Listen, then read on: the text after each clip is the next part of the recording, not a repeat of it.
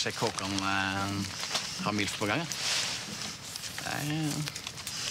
Han har vel ikke akkurat noe på gang? akkurat, nå. Men har Kine barn, egentlig? nei, jeg vet da faen. Nei, hun har ikke barn. Nei. Men det er i hvert fall klassisk MILF i mine øyne. Nei, ærlig talt kan ikke være det, da. Tenk, Milf, jeg blir snart jo. MILF.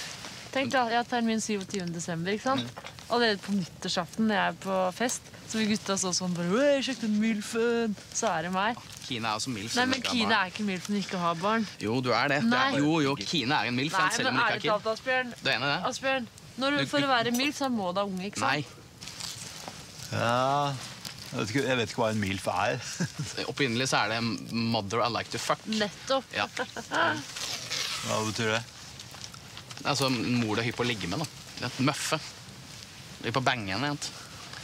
Lage barn. Sånn som når du lager barn. Lager barn? Mm. Så en MILF er en mor man har lyst til å få flere barn med?